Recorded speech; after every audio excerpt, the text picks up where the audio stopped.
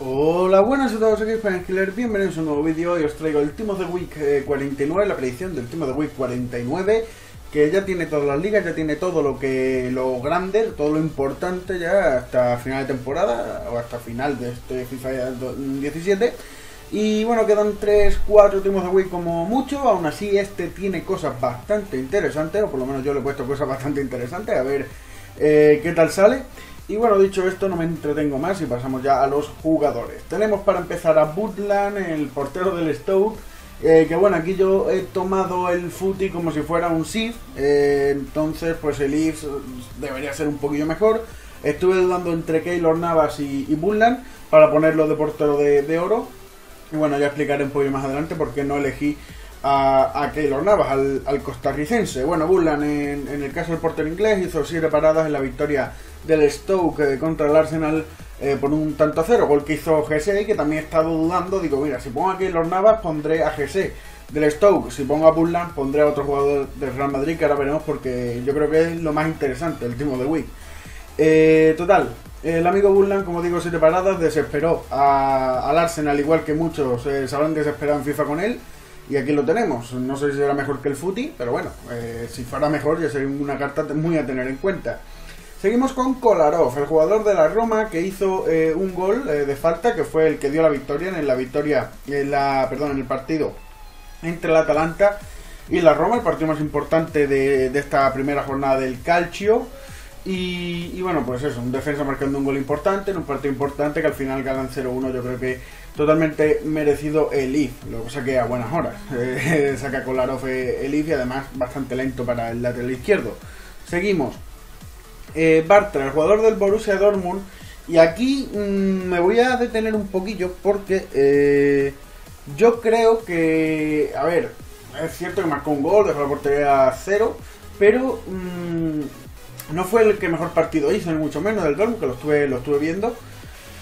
Pero no sé, por todo lo que ha pasado últimamente con el tema de, los atentados de Barcelona, yo creo que sería un bonito homenaje, entre comillas, eh, a, eh, por parte de EA, además de que Bartra marcó un golazo. O sea que realmente podría llegar a merecerlo, aunque en, circunstancias normales yo a lo mejor no lo hubiese puesto en la predicción.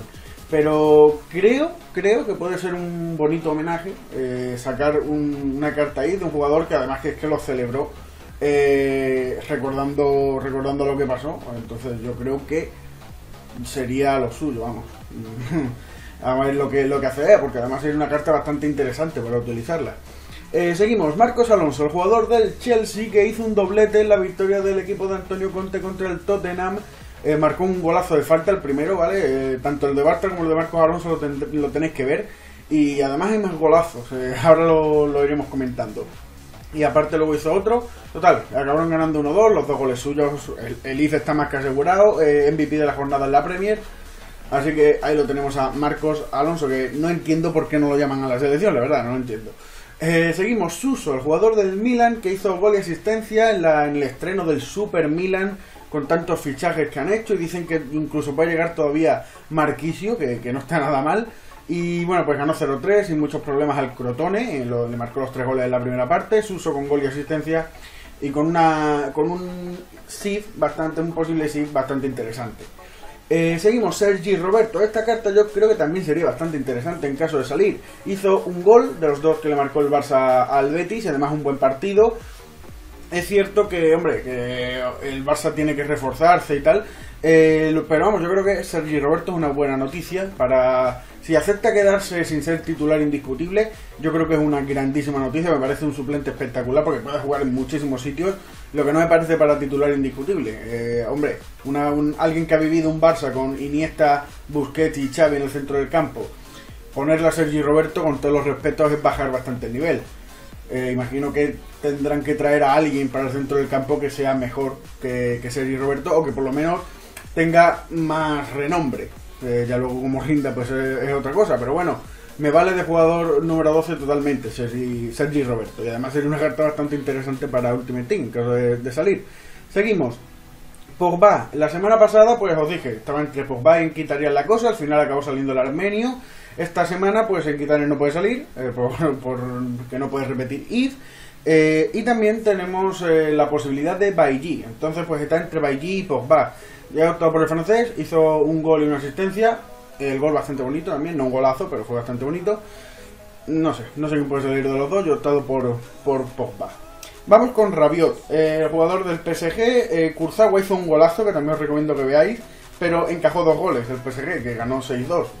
Neymar hizo un partidazo, dos goles, uno de ellos un golazo. No tanto como dice la gente, porque yo creo que se la lleva a medio de suerte en algún, en algún regate más, que de otra cosa, pero bueno, un buen gol. Eh, hizo dos goles, dos asistencias y provocó un penalti.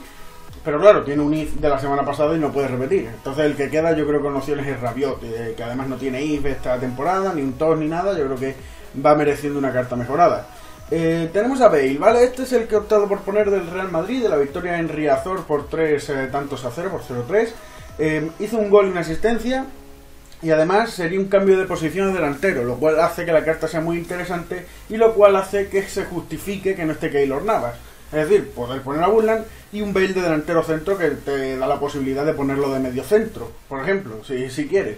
Entonces, yo así justificar, se justificaría bastante, creo, la, el poner a Bullan en vez de a Keylor Navas, que yo creo que por méritos Keylor Navas merece más. Pero al haber una opción más consistente del Madrid que del Stoke en ataque, pues yo pondría a Bale y a Bullan, la verdad. Eh, seguimos, Icardi que hizo un doblete, la victoria del Inter 3-0 también, los dos equipos de Milán ganaron por 3 puntos a 0 contra la Fiorentina, uno de ellos de penalti, además la Fiorentina, hombre, la verdad que bastante más entidad el rival de, del Inter que el del Milan en esta, en esta jornada. Eh, y cerramos el 11 titular con Jonas, el delantero del Benfica, que hizo 3 eh, goles y una asistencia, la victoria 5-0 del equipo lisboeta.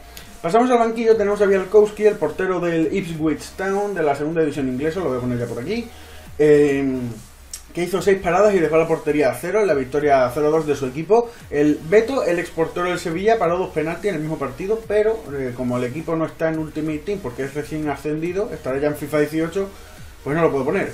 Harry Maguire, jugador del Leicester, que marcó un gol y dejó la portería a cero en la victoria 2-0 del eh, ex campeón de la Premier, o el ex vigente, campeón de la Premier, ganador hace dos años de la liga inglesa.